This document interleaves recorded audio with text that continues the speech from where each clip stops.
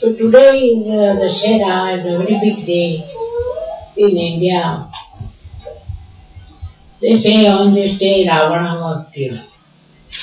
He was the worst enemy of human beings and he was killed. So whatever it is then, as a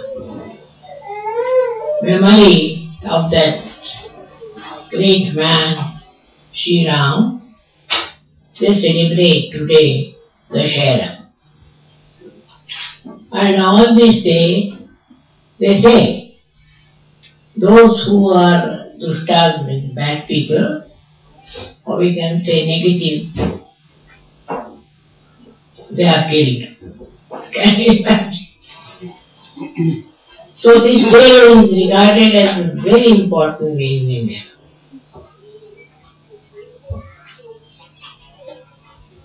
And they make a big statue of Ravana. You all know who was Ravana? Lakshmana.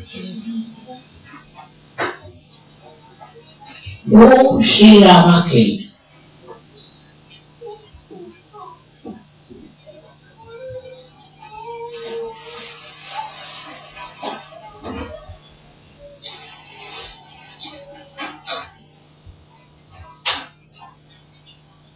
Was a horrible fellow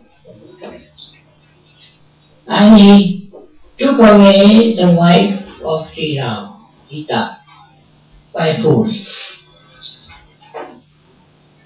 But she was such a chaste woman that he couldn't touch her.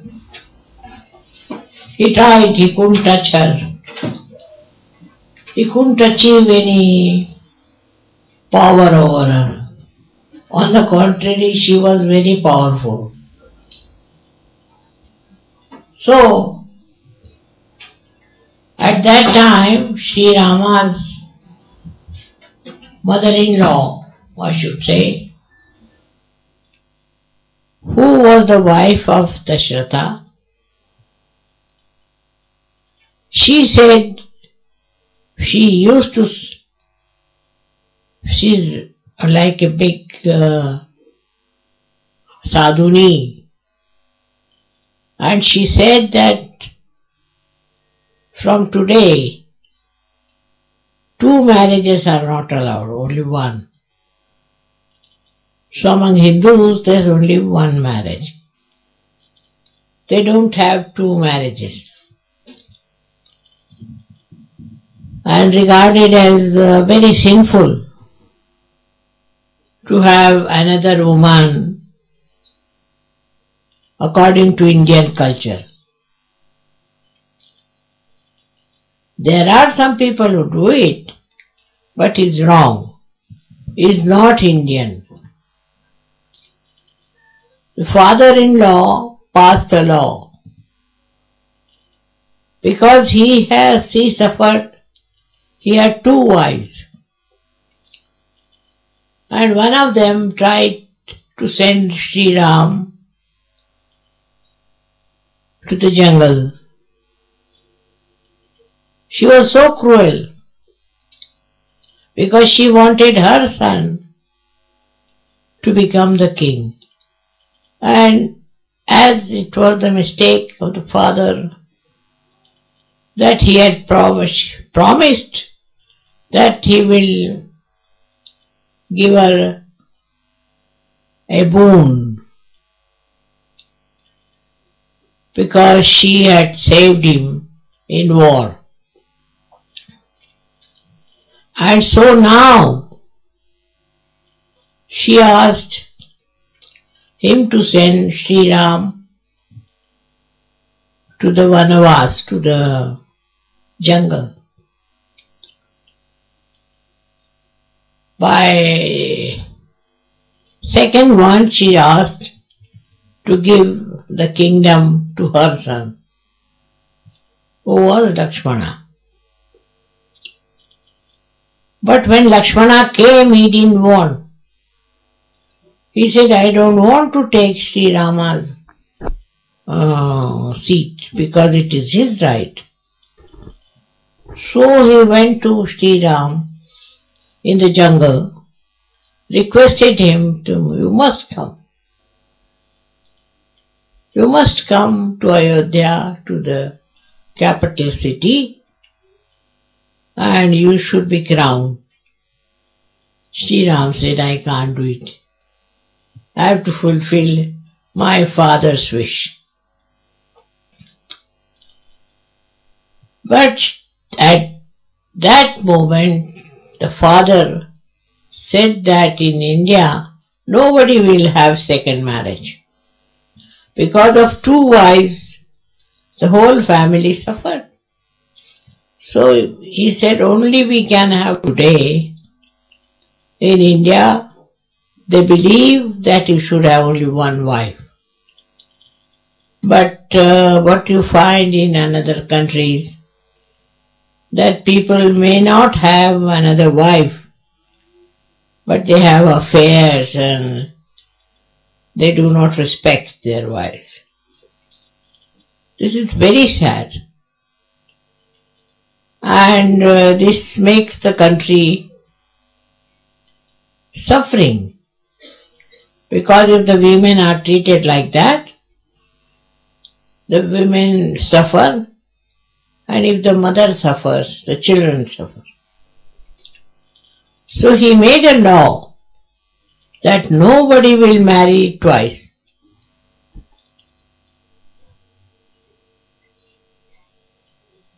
Only Muhammad Sahib said, alright, we can have four marriages.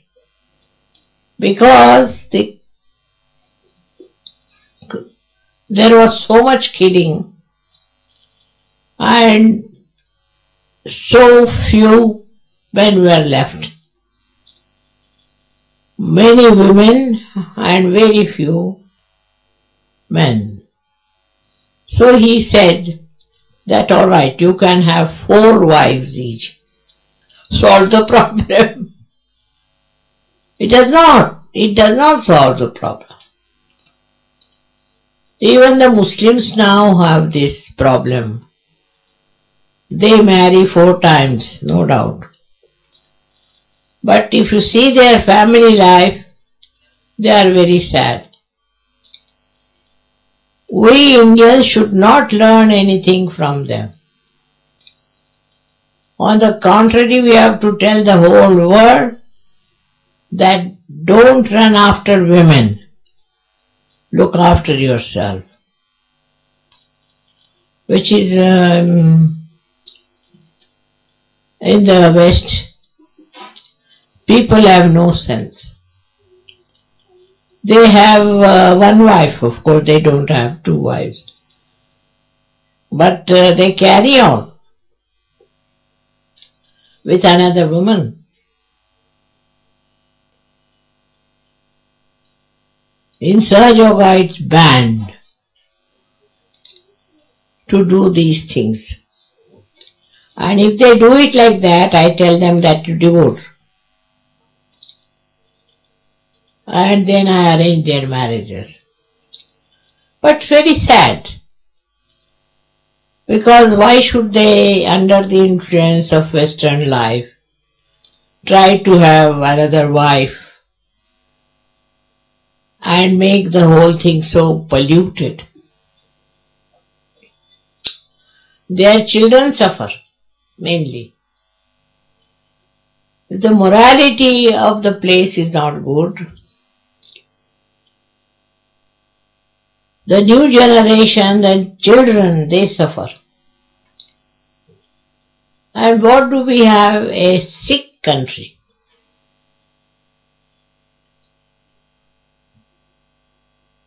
English were once upon a time very proud and very sensible, but now they have become very unhappy somewhere else. And this is a very sad thing. In Sahaja Yoga we do not tolerate this.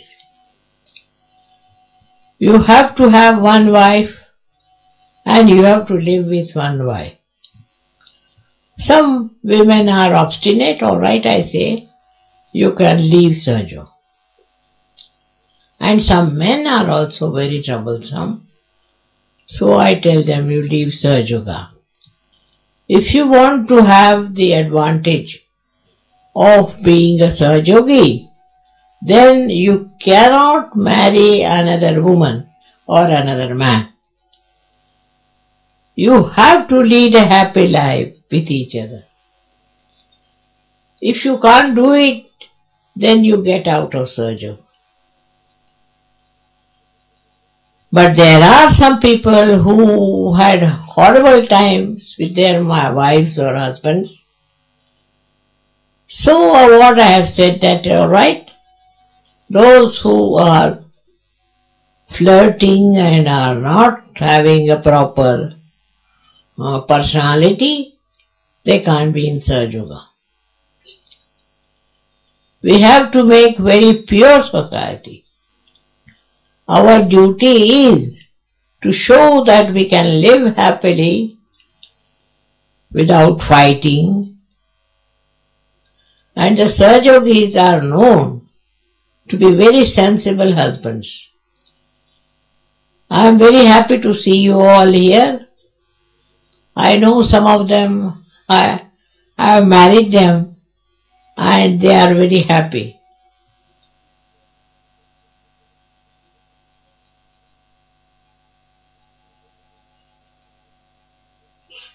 So I have to tell all of you, men and women, that we have to lead a dedicated life. If the husband is flirting, let him go to hell. Or if the wife is flirting, let her go to hell.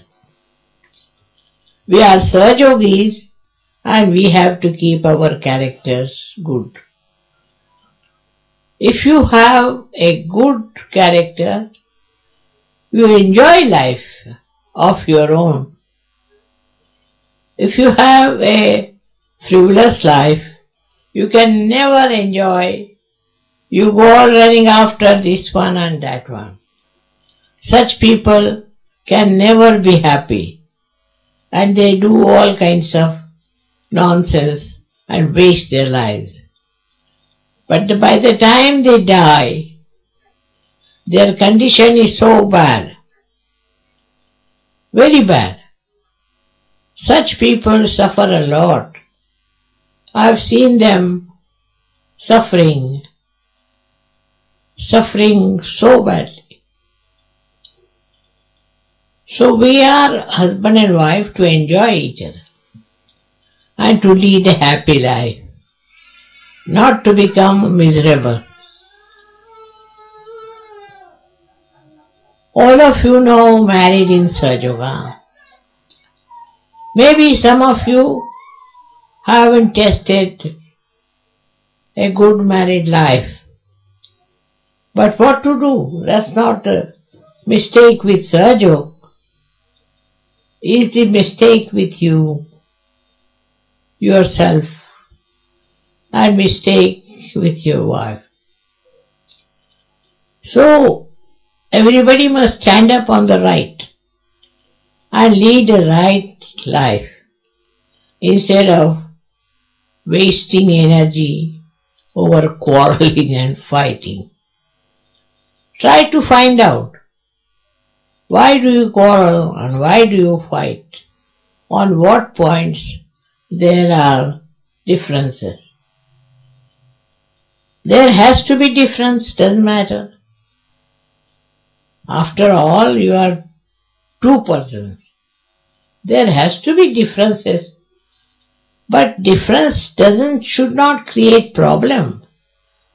On the contrary, you must enjoy the difference.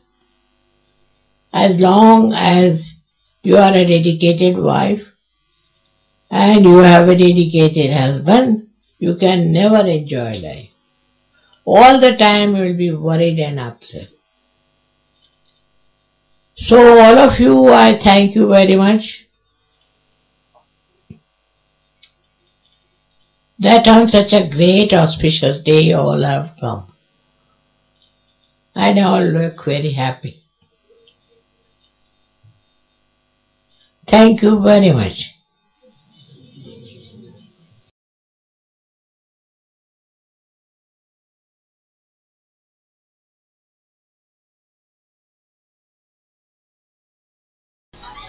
Thank you. In Australia, do you get uh, fragrance? Yes, some fragrant ah. flowers. Some fragrant flowers through. But here, no. Not so many now. Not so many. Healthy scent. Healthy scent. I don't know why. In India, even a small flower has. Yeah, India has why this quality. yeah. I don't know. There's something in the soil Mhm. that whatever you grow, there is fragrance. Soil is quite dry in Australia. Have to grow the flowers for the for the That's a, show. uh, I think, a very religious country. People are having a kind of a, and they keep to it. But some of them are horrid, no doubt. Strategy is Australia has um, a problem in we're drought. For seven years, it has not been raining very much, and the country is suffering. Drugs. Drought. No, no rain, Shri Mataji. Ah, So with your blessings, maybe the rains will start to come in India. in Australia. in Australia, the rain to come back. Australia, you don't have drugs. No rain, Shri Mataji. For seven years, it's not been raining very much. So there's farmers and everyone's going through a hard They time. They drink a lot. If they should stop drinking, things will improve. God is also angry. There is uh, drinking and divorcing.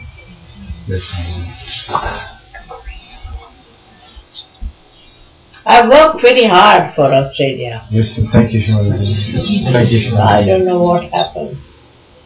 एक आठ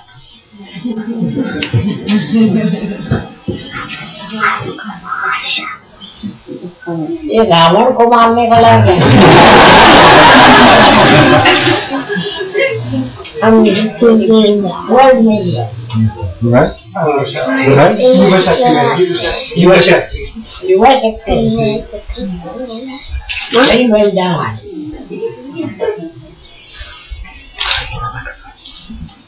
kill the Ravana We have made a Ravan also. huh? We have made a Ravan also. Uh, yes. Where? Uh, at Starkfield, where the program is happening.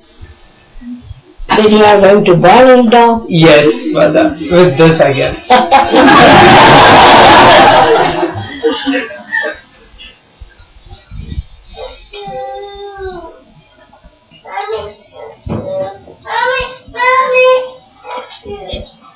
Smell um. I found this.